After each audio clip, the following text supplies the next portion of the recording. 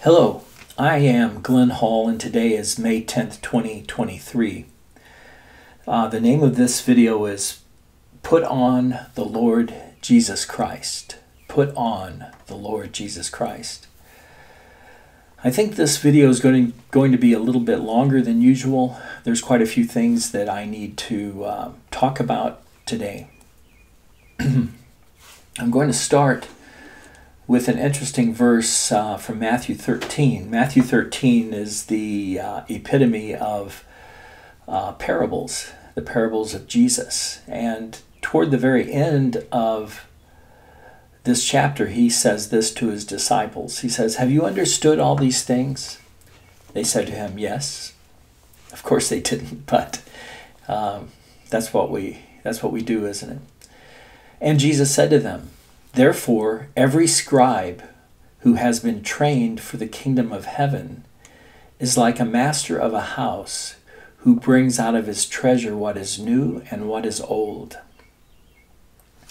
I'm going to start today by uh, sharing something old. Um, I was just picked up a, a notebook of mine uh, yesterday. Looks like that and uh, I read a very interesting dream that I had in September of 2018.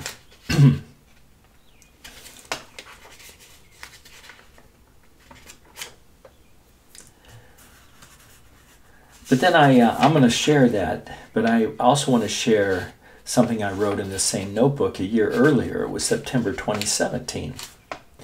And this is a poem I wrote called Answered Prayer. I prayed my ears would open and that my blind eyes would see. I prayed to know you better and that your spirit would fill me. Then I looked down at the waters, saw waves darken, moving in.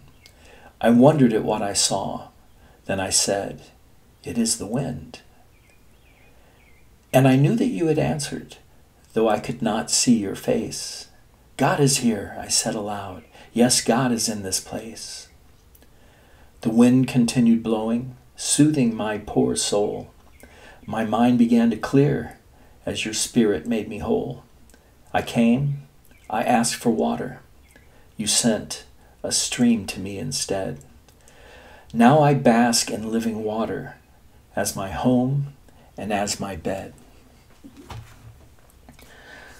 I had evidently gone on a day trip, and uh, when I came home, I shared this with my wife, and um, I wrote this. Just as God sent the wind to me and gave me the above poem, He was also answering my wife's prayers as she worked her garden. We both agreed that God speaks to us differently than to the recognized church prophets. He does not speak to us directly or allow us to see him. God speaks to us very subtly. He has trained us to, quote, be not like the horse who needs to be turned, and I added these words, by direct revelation, but in the psalm it says, who needs to be directed by bit and bridle. So God is training us to respond to the subtle moving of the Spirit, the subtle wind of the Spirit. That reminded me of John chapter 3 that I'll read, verses 1 through 8. Now there was a man of the Pharisees named Nicodemus, a ruler of the Jews. This man came to Jesus by night and said to him, Rabbi, we know that you are a teacher come from God. For no one can do these signs that you do unless God is with him. Jesus answered him, Amen, Amen. Or truly, truly, I say to you, unless one is born again, he cannot see the kingdom of God. Nicodemus said to him, How can a man be born when he is old? Can he enter a second time into his mother's womb and be born? Jesus answered, Amen, Amen. Truly, truly, I say to you, Unless one is born of water and the Spirit, he cannot enter the kingdom of God. That which is born of the flesh is flesh, and that which is born of the Spirit is spirit. Do not marvel that I said to you that you must be born again. The wind blows where it wishes, and you hear its sound, but you do not know where it comes from or where it goes. So it is with everyone who is born of the Spirit. So I read that poem I had written,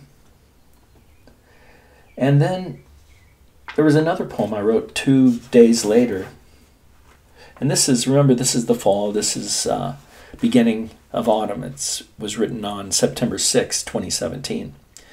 This poem is called The Changes. You can feel the changes if you let yourself. You can see yellow where you used to see green.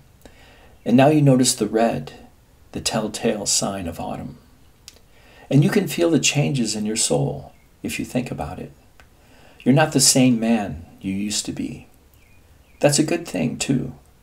I'm looking for the new man, made in the image of him who created me. I'm looking for my new soul, patterned after Christ. Yes, I can feel the changes. Well, and then one year later, almost exactly a year later,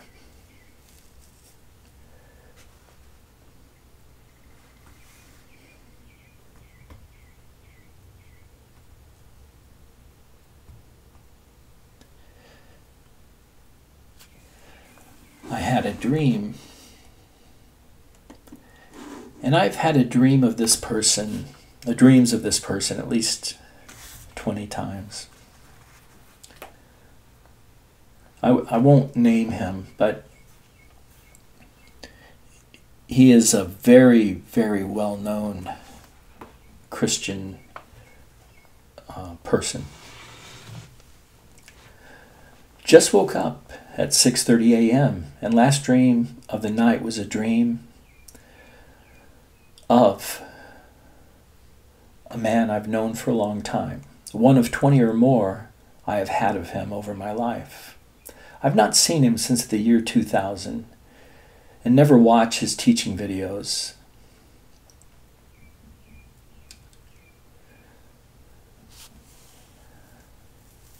My wife and I were sitting in a row at a long table at his newest church. He suddenly appeared about 20 feet in front of us. We said hi, and he seemed to smile in a soulless recollection of us. Then he went forward a bit and began to speak to the whole church. He began by saying, Why do I live full time here at R2D2? Or something like that, that sounded like it was something electronic. Then he began to say more that he evidently thought to be spiritual. My wife and I looked at each other as if to say, what kind of nonsense is this? Then a professional sounding electric guitar player started playing music.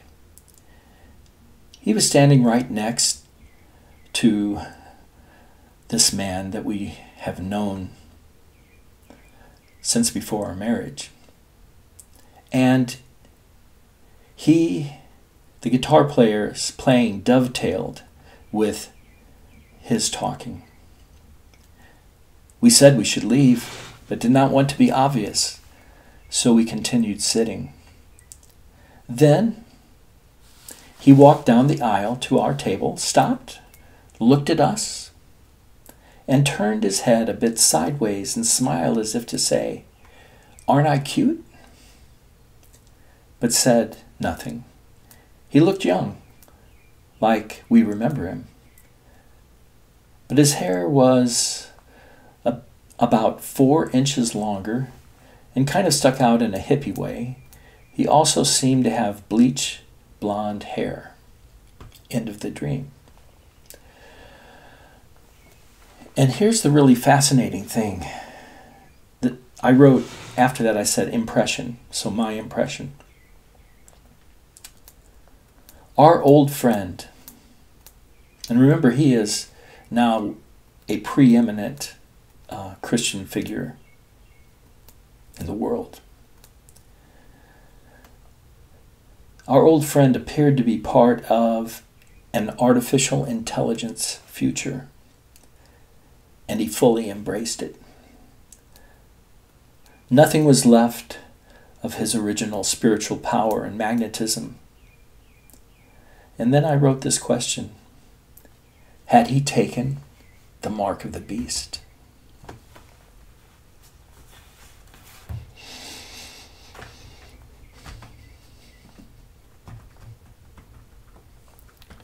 Can't imagine how sad that makes me.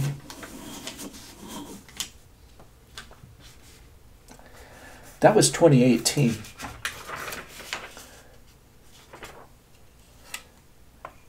That was before COVID 19. That was before the forced jab That was before we knew that they were placing electronics into the jabs and before we knew that they were putting those into us through the chemtrails that fall daily in the skies, through our water, and even in our food, that they add hydrogel and graphene to our food.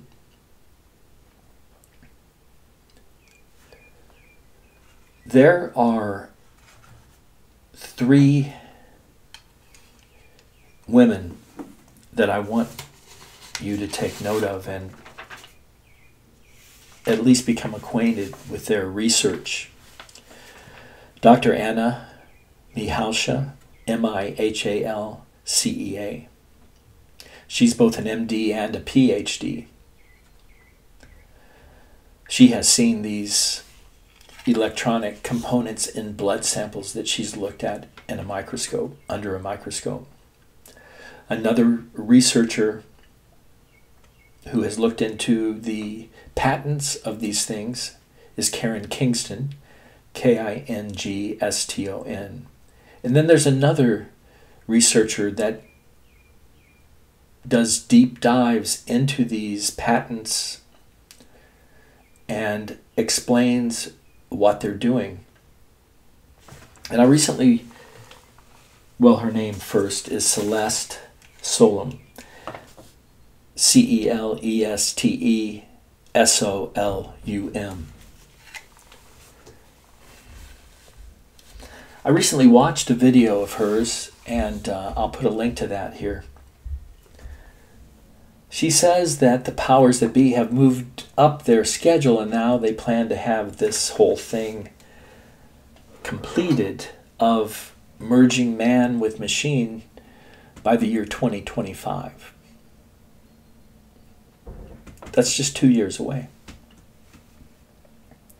Well, that pretty much fits what I uh, have been expecting I believe Trump will be reelected in 2024, take office in 2025, and immediately he will uh, mandate the mark of the beast. But can you imagine how uh, interesting it was for me to read this dream I had five years ago and then read my impression where this Christian leader evidently had taken the mark of the beast.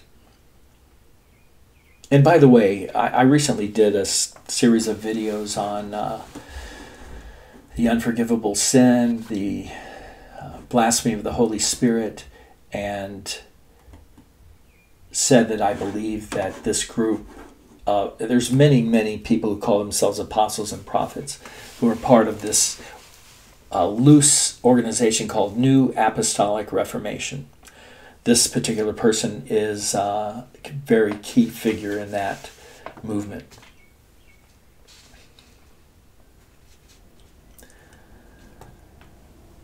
Another thing I want to talk about before I get into the subject of this video, put on the Lord Jesus Christ, is a recent word I got from prophetess Christine Beadsworth. And I got this Monday, just two days ago, and it's called The Furnace of Waiting. I plan to put a link to that here too so you can read it.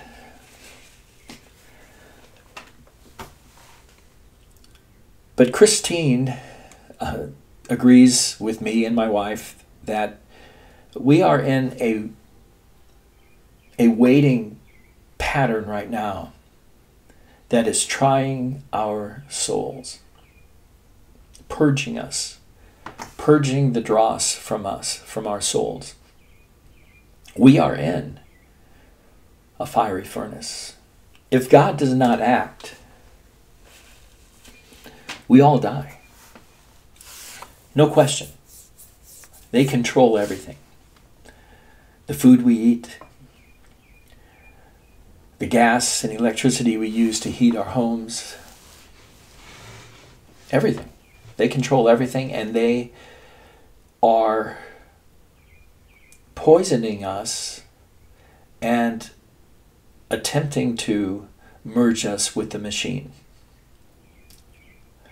Now, this is the final kingdom, the final beast kingdom that Daniel prophesied interpreted from Nebuchadnezzar's dream in Daniel chapter 2. The toes of iron and clay, but iron and clay won't mix. So this kingdom will fail. We know it will fail, but Jesus said, if God did not shorten the days, no flesh would be left alive. That's how serious the situation is.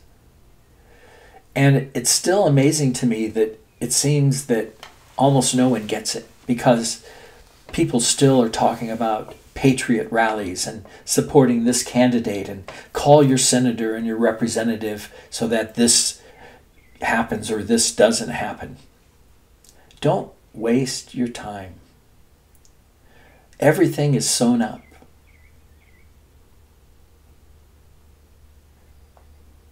Christians are not going to usher in the kingdom of God the Lord Jesus will have to manifest in thousands that have submitted to him, who want to be made in his image. That has to happen, or no flesh will be left alive.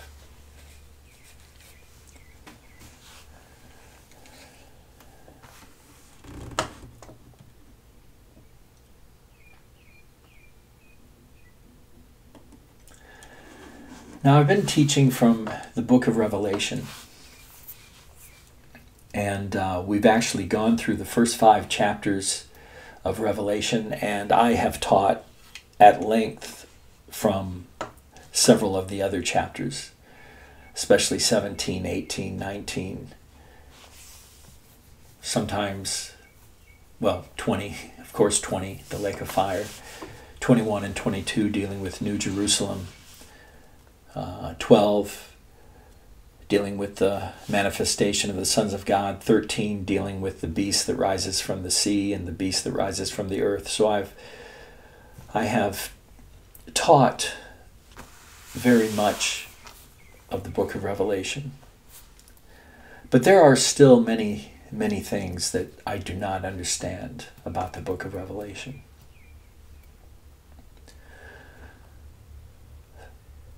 So, at least at this time, I'm not planning to go through the seven seals and the seven trumpets and the seven bowls of wrath uh, in detail.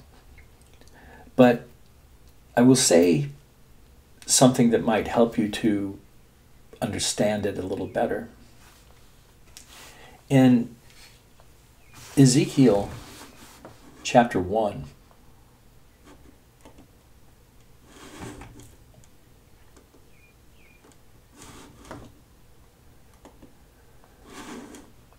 verses 15 and 16, he says, Ezekiel says, he's watching the cherubim.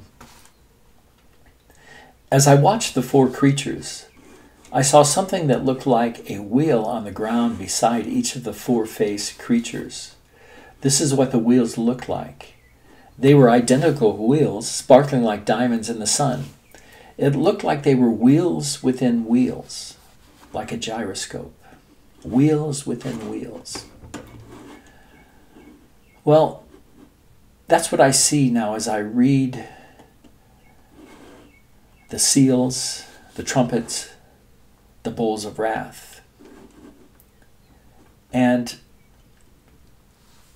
I'm going to go down to the sixth seal in chapter 6 of Revelation. When Jesus, who was revealed as the Lamb, opened the sixth seal, I looked, and behold, there was a great earthquake. Earthquakes can speak of huge changes of government. There was a great earthquake, and the sun became black as sackcloth. The full moon became like blood, and the stars of the sky fell to the earth as the fig tree sheds its winter fruit when shaken by a gale. The sky vanished like a scroll that is being rolled up, and every mountain and island were removed from its place. So, mountains certainly are governments, islands, evidently the same, smaller governments probably, removed from their place. Then the kings of the earth, and the great ones, and the generals, and the rich, and the powerful, and everyone, everyone. But it's specifically mentioning all of the great ones and everyone, slave and free, hid themselves in the caves and among the rocks of the mountains. Hid themselves in the remnants of the mountains, calling to the mountains and the rocks, Fall on us and hide us from the face of him who is seated on the throne and from the wrath of the Lamb. For the great day of their wrath has come, and who can stand? I think the seals show us in, in just very short pictures the entire history of this age from the death of Christ and resurrection of Christ until this time we live in now. And that in the sixth seal, it moves to this time of the wrath of God. Well, it's very interesting to look at the other six sixth things, like the sixth trumpet. Revelation chapter 9. Now, the fifth angel blew, that's the beginning, that's the first woe. But then, verse 13, the sixth angel blows, and this is the second woe. Verse 13. Then the sixth angel blew his trumpet, and I heard a voice from the four horns of the golden altar before God, saying to the sixth angel who had the trumpet, Release the four angels who are bound at the great river Euphrates. So the four angels who had been prepared for the hour, the day, the month, and the year were released to kill a third of mankind. The number of mounted troops was twice 10,000 times 10,000. That is 200 million. 200 million troops. Then John says, I heard their number. And this is how I saw the horses in my vision and those who rode them. They wore breastplates the color of fire and of sapphire and of sulfur, and the heads of the horses were like lions' heads. And fire and smoke and sulfur came out of their mouths. By these three plagues, a third of mankind was killed. Second time, it says a third of mankind. Well, that's at least 2 billion people at this point. More than that, evidently. By these three plagues, a third of mankind was killed, by the fire and smoke and sulfur coming out of their mouths. For the power of the horses is in their mouths and in their tails. For their tails are like serpents with heads, and by means of them they wound. The rest of mankind, who were not killed by these plagues, did not repent of the works of their hands, nor give up worshipping demons and idols of gold and silver and bronze and stone and wood, which cannot see or hear or walk, nor did they repent of their murders or their sorceries or their sexual immorality or their thefts. But we see that, don't we? That even in the midst of the incredible afflictions that have come upon the world in the last three years, men are not repenting at all. They're flaunting it, dressing up like Satan in their Grammy Awards. Sicken, sickening. There is no repentance. Well, now let's move to Revelation 16 to the sixth bowl of wrath. The sixth angel poured out his bowl on the great river Euphrates, and its water was dried up to prepare the way for the kings from the east. Now go back to Revelation 9. Verse 14 says, Release the four angels who are bound at the great river Euphrates. Isn't that interesting? Wheels within wheels. The sixth angel poured out his bowl on the great river Euphrates. Now we're in Revelation 16. And its water was dried up to prepare the way for the kings from the east. Okay, now, remember in Revelation 9, you had 200 million being prepared to cause the death of a third of the population of the world. Now, are you paying any attention to what's going on over in Ukraine and Russia? And how Russia is uh, getting very close with China? Do you remember how the United States obliterated Iraq, which is the area of the Euphrates River? How we constantly remain at war with Iran. Right next door to that, that's the ancient Persian Empire. Do you think maybe the US and Europe are provoking the East? You think? Maybe. Could it be that we're watching this unfold before us right now? I think so. We are at the end. Things are never, ever going back to what we thought was normal. This system is coming down, and that's exactly what God planned. This is God's doing, this is God's plan. So we need to remember that. Even though we see evildoers doing evil deeds, and indeed they are. God has allowed it. God had angels placed for the particular hour on the particular day of the particular month of the particular year to release the 200,000 warriors to destroy a third of mankind.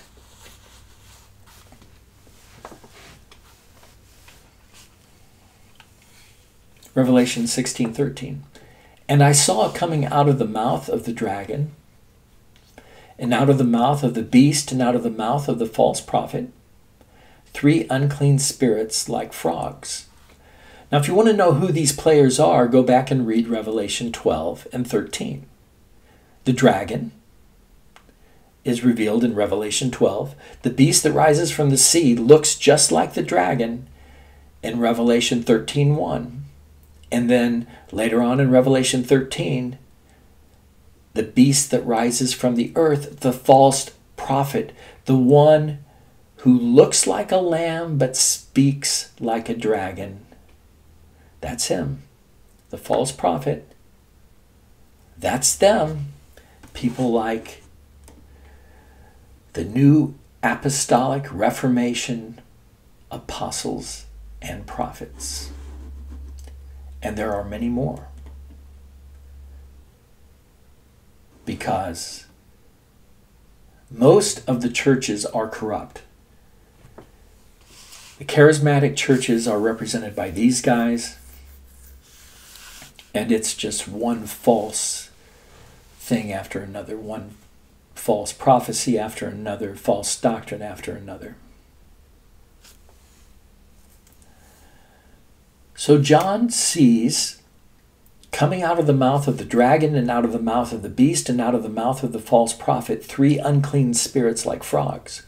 For they are demonic spirits performing signs, who go abroad to the kings of the whole world to assemble them for battle on the great day of God the Almighty. Then, verse 15, which is so strange. Jesus suddenly breaks in and says, Behold, I am coming like a thief. Blessed is the one who stays awake, keeping his garments on, that he may not go about naked and be seen exposed. That's all he says. Then verse 16 ends the sixth bowl and it says, And they assembled them that is, the unclean spirits, assemble them at the place that in Hebrew is called Armageddon. Armageddon is the battle for our mind. That's what all of this is about. They want to merge our minds with artificial intelligence and they want to control our minds. They want to take away our ability to worship God, to love God, to do what's right and true and force us to do only what they want us to do. This is the battle of the mind. We're in the midst of it. And it's in the midst of it that Jesus says, Behold, I am coming like a thief. Blessed is the one who stays awake, keeping his garments on that he may not go about naked and be seen exposed.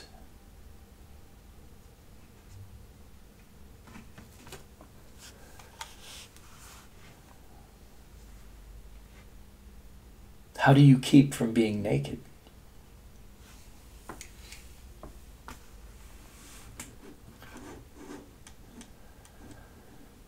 Do you remember the admonition to the church in Laodicea?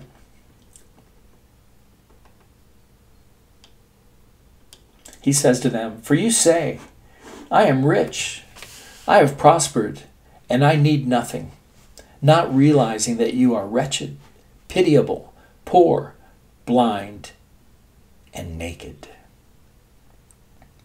I counsel you to buy from me gold refined by fire, so that you may be rich, and white garments, so that you may clothe yourself, and the shame of your nakedness may not be seen and salve to anoint your eyes so that you may see. How do we clothe ourselves?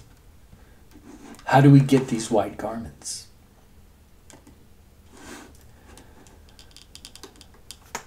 Romans 13, verse 11. Now, here Paul suddenly breaks into the prophetic. Romans 13 11 through 14. Besides this, you know the time, that the hour has come for you to wake from sleep. For salvation is nearer to us now than when we, when we first believed. The night is far gone, the day is at hand. The night is far gone. So then let us cast off the works of darkness and put on the armor of light. Let us walk properly as in the daytime, not in orgies and drunkenness, not in sexual immorality and sensuality, not in quarreling, not in jealousy, but put on the Lord Jesus Christ. Put on the Lord Jesus Christ. and make no provision for the flesh to gratify its desires. That's how we clothe ourselves. Wow, easy to say, huh? Let's go to more scripture so we can learn how to do that.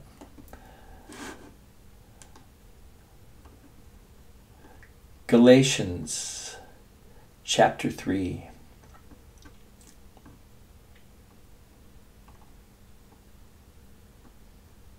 Verse 23. Now, before faith came, we were held captive under the law, imprisoned until the coming faith would be revealed. So then, the law was our guardian until Christ came, in order that we might be justified by faith. But now that faith has come, we are no longer under a guardian, for in Christ Jesus you are all sons of God through faith. For as many of you as were baptized into Christ have put on Christ. There is neither Jew nor Greek, there is neither slave nor free, there is no male and female, for you are all one in Christ Jesus. And if you are Christ's, then you are Abraham's offspring, heirs according to promise. For as many of you as were baptized into Christ have put on Christ.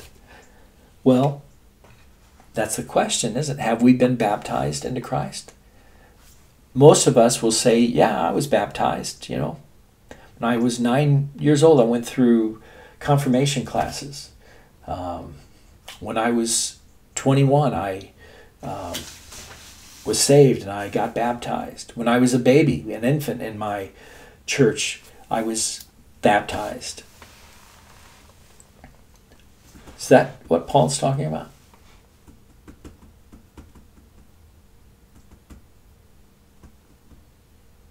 Have you been baptized into Christ? It's a baptism of fire. It's the application of the Word of God to your life. See, we made, the church made all these simple doctrines so everybody could feel like they did it.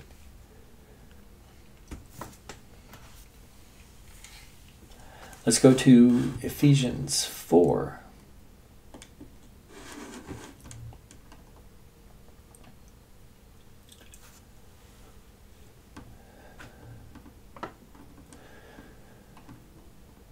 verse 17. Ephesians 4 17.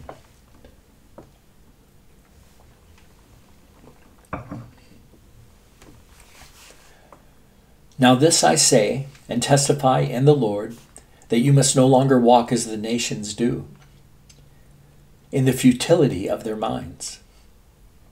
That's how people walk, in the futility of their minds. They are darkened in their understanding, alienated from the life of God because of the ignorance that is in them, due to their hardness of heart. They have become callous and have given themselves up to sensuality, greedy to practice every kind of impurity. But that is not the way you learned Christ. That is not the way you learned Christ.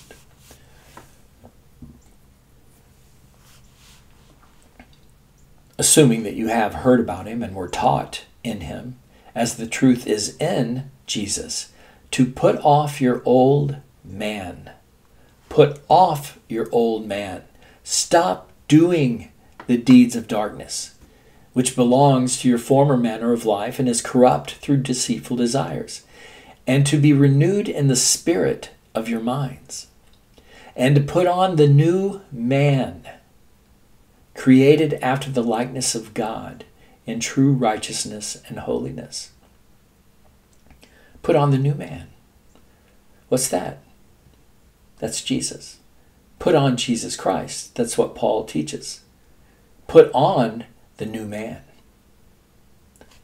Well, how do you do that? It's called the obedience of faith. You begin to obey to the best of your abilities because you now have faith in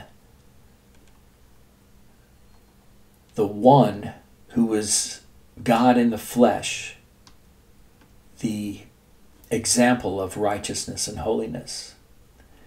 Therefore, having put away falsehood, let each one of you speak the truth with his neighbor, for we are members of one another. Be angry and do not sin. Do not let the sun go down on your anger, and give no opportunity to the devil. Let the thief no longer steal, but rather let him labor, doing honest work with his own hands, so that he may have something to share with anyone in need. Let no corrupting talk come out of your mouths, but only such as is good for building up, as fits the occasion that it may give grace to those who hear. Now we need to learn to take that word and turn it around. Let no corrupt, corrupting talk come into your ears, but only such as is good for building you up and to give you grace. So if you're watching things, if you're listening to things that are filled with corruption, you need to stop. We should not even look upon evil things. And do not grieve the Holy Spirit of God, by whom you were sealed for the day of redemption. Let all bitterness and wrath and anger and clamor and slander be put away from you, along with all malice. Be kind to one another, tender hearted, forgiving one another, as God in Christ forgave you. How many people hold on to hurts and never forgive? It's unbelievable the unforgiveness that you see. Chapter 5 Therefore be imitators of God as beloved children, and walk in love, as Christ loved us and gave himself up for us, a fragrant offering and sacrifice to God. But sexual immorality and all impurity or covetousness must not even be named among you, as is proper among the, the saints or the Kodishim, the holy ones. Let there be no filthiness, nor foolish talk, nor crude joking. How many of you tell crude jokes? They're out of place, but instead let them be let there be thanksgiving.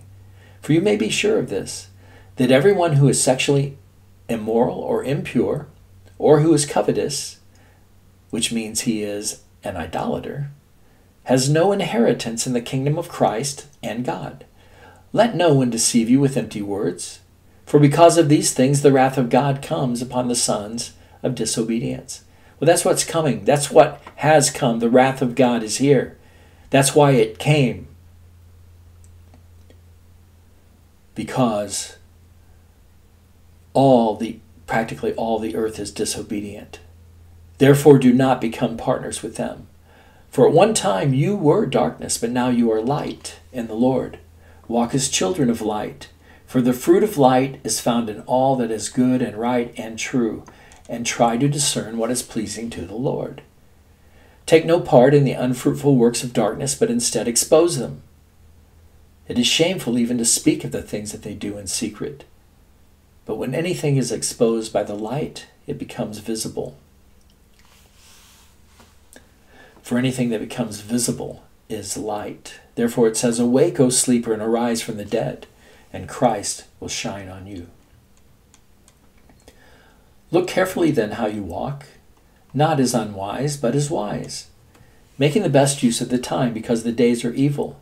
Therefore, do not be foolish, but understand what the will of the Lord is. And do not get drunk with wine, for that is debauchery, but be filled with the Spirit.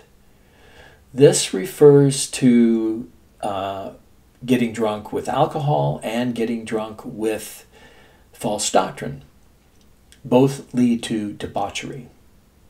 Be filled with the Holy Spirit, addressing one another in psalms and hymns and spiritual songs, singing and making melody to the Lord with your heart.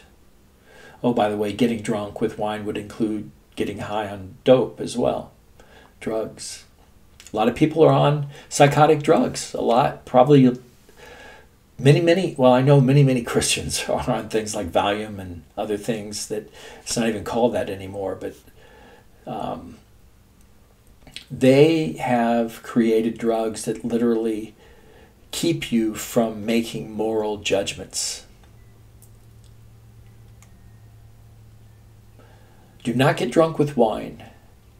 Do not get drunk with drugs. Do not get drunk with false doctrine as we saw with the prophets of Ephraim in Isaiah 28.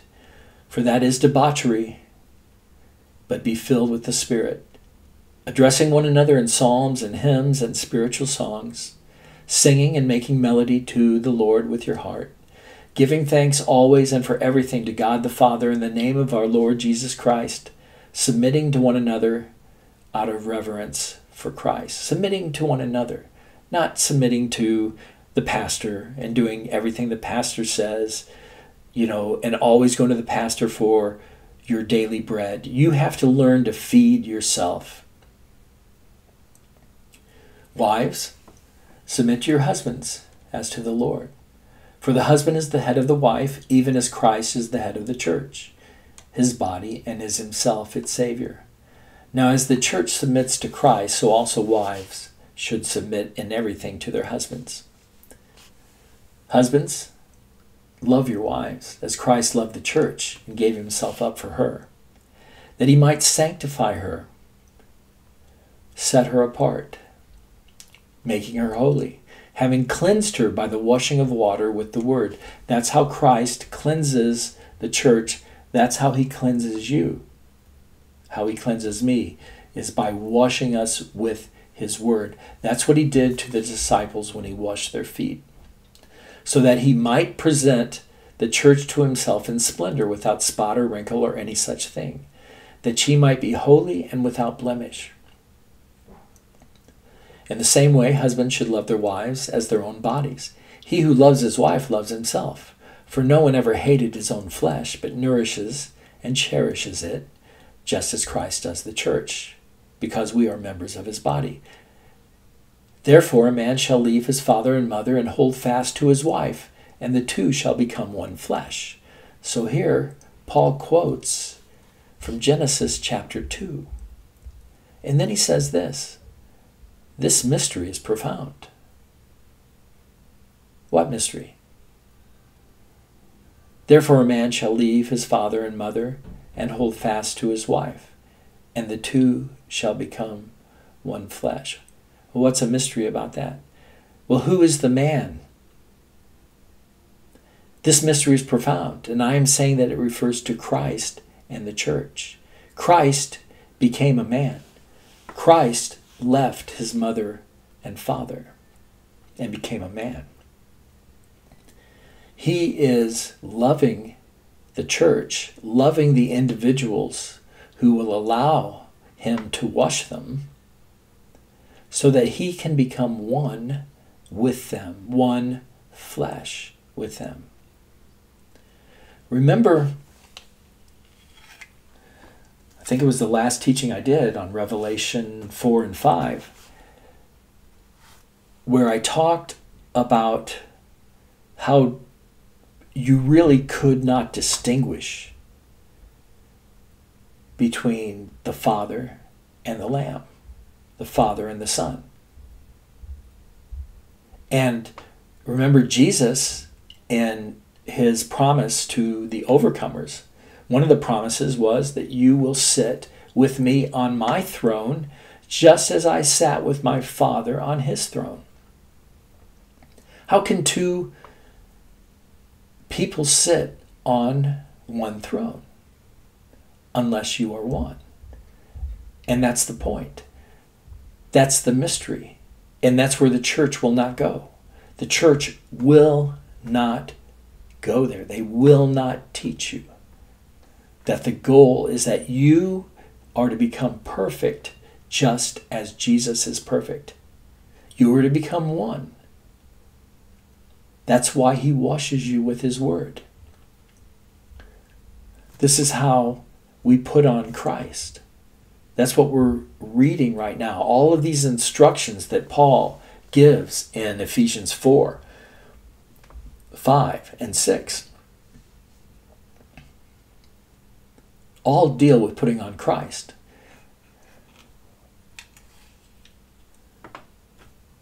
Let each one of you love his wife as himself, and let the wife see that she respects her husband. Then, chapter 6 Children, obey your parents in the Lord, for this is right. Honor your father and mother. This is the first commandment with a promise, that it may go well with you and that you may live long in the land. Fathers, do not provoke your children to anger, but bring them up in the discipline and instruction of the Lord. Bond servants, Obey your earthly masters with fear and trembling, with a sincere heart as you would Christ. Now, he's actually talking about slaves here. Not by the way of eye service or people pleasers, but as bondservants of Christ. We are bondservants of Christ because he paid the price to redeem us from Satan's kingdom. Doing the will of God from the heart, rendering service with a good will as to the Lord and not to man, knowing that whatever good anyone does, this he will receive back from the Lord, whether he is a bondservant or is free. Now, if you are free, then you have an obligation not to obey unrighteous commands. Are you putting hydrogel, graphene, other things into our food? Are you spraying chemtrails?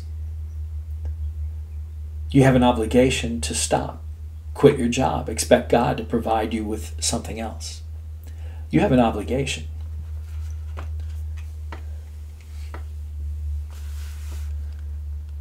Masters, do the same to them and stop your threatening, knowing that he who is both their master and yours is in heaven, and there is no partiality with him. Finally, be strong in the Lord and in the strength of his might. Put on the whole armor of God, that you may be able to stand against the schemes of the devil. For we do not wrestle against flesh and blood but against the rulers, against the authorities, against the cosmic powers over this present darkness, against the spiritual forces of evil in the heavenly places. We are in a spiritual battle. We are in the battle for the earth, and we cannot prevail in the natural. This is a spiritual battle. Therefore, take up the whole armor of God that you may be able to withstand in the evil day, and having done all, to stand firm. Stand, therefore, having fastened on the belt of truth. Truth equates to justice, and having put on the breastplate of righteousness. Okay, justice and righteousness are the foundation of God's throne, the foundation of his rule. These are the first two things Paul mentions. That's why we need to wash ourselves with the word so that we know what is truth, so we know what is righteousness. And as shoes for your feet, having put on the readiness given by the gospel of peace, the good news of Jesus Christ. Put on Jesus Christ. In all circumstances, take up the shield of faith with which you can extinguish all the flaming darts of the evil one, and take the helmet of salvation Be renewed in your mind. Stand in faith. Don't give in to fear. That's how we extinguish the darts from Satan. And take up the sword of the Spirit, which is the Word of God. Know the Word of God. Wash yourselves with the Word so that you can speak the Word to others and to yourself as you need it. Praying at all times in the Spirit with all prayer and supplication. To that end, keep alert with all perseverance, making supplication for all the Kodashim, all the holy ones, and also for me, that words may be given to me in opening my mouth boldly to proclaim the mystery of the gospel, for which I am an ambassador in chains, that I may declare it boldly as I ought to speak.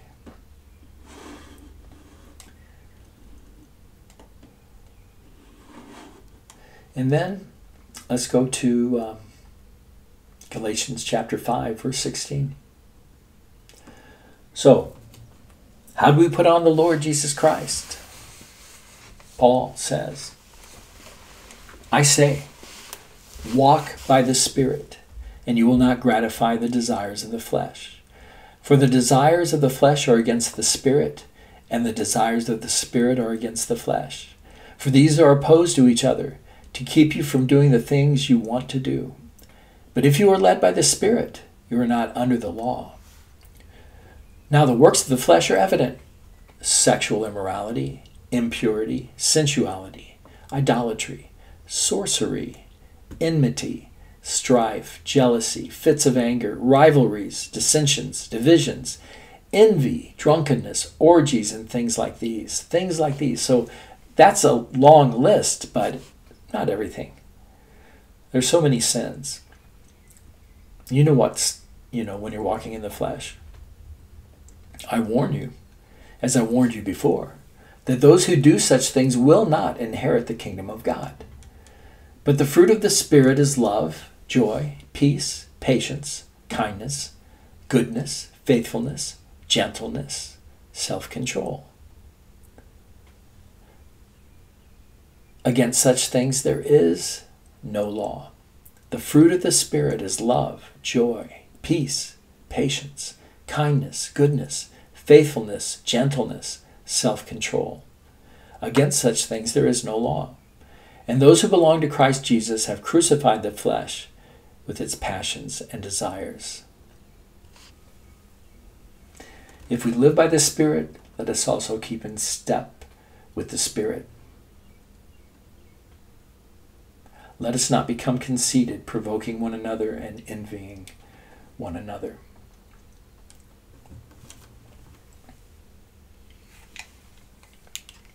We are in tribulation. And it's going to get worse before it gets better. In the midst of the horrendous tribulation, of the onslaught of the kings from the east, of the 200 million forces, Jesus appears and gives us a warning.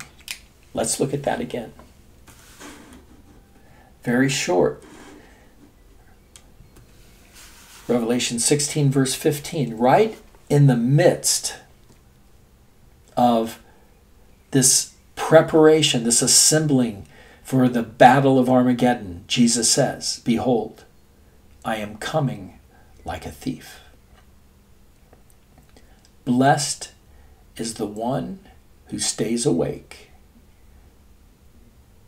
keeping his garments on, that he may not go about naked and be seen exposed.